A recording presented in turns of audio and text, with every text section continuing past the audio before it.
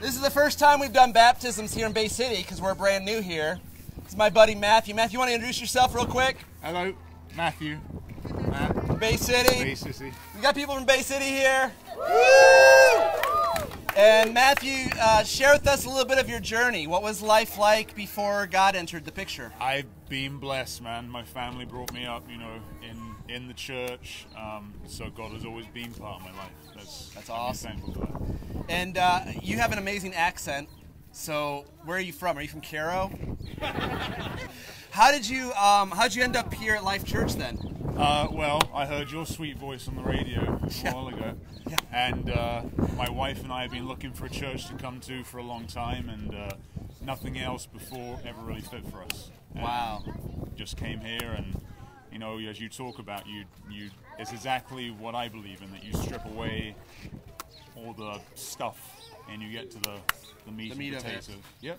Well, Matthew, based on your profession of faith in Jesus Christ as your Lord and Savior, I baptize you now in the name of the Father, and of the Son, and of the Holy Spirit.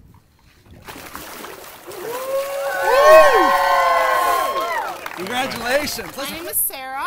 I'm from Bay City. You're Matthew's wife. I'm Matthew's wife. Yes. And give us a snapshot of your journey, of your faith story. Um. So, um, when I was 13, um, my mother was murdered, and I had a lot of negative feelings for towards God and wondering why He would do that or take her from me um, and my family. And it's been over um, 20 years, and through those years, I've learned that he is very much present and has a plan for everything. And during some of the most difficult times of my life after that, he always seemed to present better things in my life. And um, my husband being one of them. Um, he was actually, his plane landed in the United States the day I was burying my mother. He's from England, if you can't hear that. Um, and then just a series of events after that. Um, you know, the birth of my daughter, I was told I, I had a rare infertility and was going to have problems conceiving. Um, I, I found out I was pregnant with her uh, day or years to the day um, my mom was murdered. I found out I was pregnant for her. And then just a series of other things. That my three other children that have come into our life over the past year and a half um, that have blessed us. And we hope that we'll be able to formally adopt here in the next year. And uh, so, yeah, God's great. And we're just. It took me a while to feel it and see it. And, but here I am. Is, is it okay if I ask you a couple questions? Sure. Mhm. First, you're incredibly brave, Thank you. um, and my heart goes out to you. Thank you. There, there are people, even here today, that are walking through infertility, walking through loss, the loss of a loved one, the loss of a mother. How has God walked through that with you, or what? What is your faith like? Un, can you just unpack that a little bit more, of to encourage others?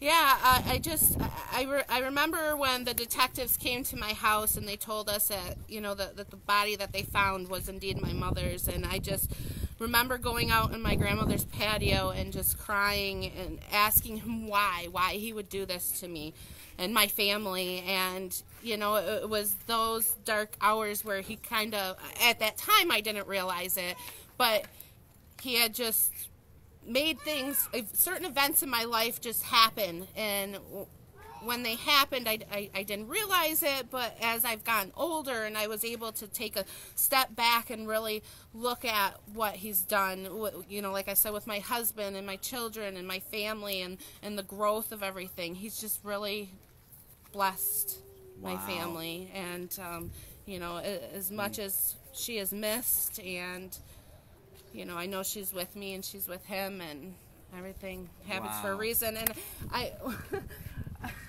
Christy, actually, she used to be my babysitter when I was Hmm. younger, and I haven't seen her in many years, and she's here today. So Wow. I was just. she knew my mom, and I just, yeah, I just, Wow. there's an example. Well, based on your profession of faith in Jesus Christ as your Lord and Savior, I baptize you now in the name of the Father, and of the Son, and of the Holy Spirit. Congratulations. Let's just step out and pray. Well, you remember how on stage I said if there's anybody else that spontaneously wants to get baptized, that we would take care of them with towels and a change of clothes? We got a couple, which is awesome. That's incredible. So, would you like to share your name, where you're from? I'm Carla and I'm from Bay City. Carla. So, tell us your journey. My journey's been long and dark. I lost my parents. Um, I got into a drug addiction after my, my, my mom passed away. I, went through a lot. And I uh, just lost a brother and a stepdad in November, and I just lost my brother, my real brother, like a month, two weeks ago. I'm Sorry to hear that. Yeah, he beat cancer, but he couldn't beat the infection, so. So, Carla, what brought you to church today? Like, how did you end up here? Um, I needed to come. But I've been, I mean, I've come a few times, and this is my daughter. Sarah is like a daughter to me. We've had her since she was 13. Wow. And these are my grandkids behind me. So, That's incredible. And and what what role has God made in your life following Christ? What does that how's that helped you through this? that's the only thing that's helped me through it. Honestly. Um, I wouldn't be here today without God. Wow. Well, Carl, I'll have you step up here. You're going to cross your arms over your chest. The good news of the gospel is that death doesn't get the final word. Amen. And because of Christ, we have this hope like an anchor. And so, Carla, based on your profession of faith in Jesus Christ as your Lord and Savior, I baptize you now in the name of the Father, and of the Son, and of the Holy Spirit. Congratulations. How are you doing? Good. Can you share your name, where you're from? I'm Navaya and I am from Bay City. Navaya. That's an amazing name. I like that. Thank you. Her, your aunt picked it out. Is there a meaning behind your name? I'm just curious. I don't know. No? Okay, it's just a cool name. Navaya. And Navaya, um, can you share just a little bit of your journey? Um, before God came into my life, I was going through a lot, and ever since He's came into my life, I feel like I'm a more positive person. And how did you end up at Life Church? I'm just curious. Um, I found out my aunt was going here, and I spent the night at her house one day, and we just came the next morning, and I just loved it ever since. So basically, if you want someone to come to church, you, you host a sleepover on Saturday, and you say, "We're going to church." And, and, and Navaya, can you just tell us what difference has Christ made? I mean, what is what, what difference has that made in your your your attitude or in, in how you see things? Or Um, I just feel more positive about everything, and I don't like second guess everything. I just go with my first inst- instinct. trust God. That's awesome. I'll, I'll invite you to step right here and cross your arms. And Navaya, based on your profession of faith in Jesus Christ as your Lord and Savior, I baptize you now in the name of the Father, and of the Son, and of the Holy Spirit. Congratulations.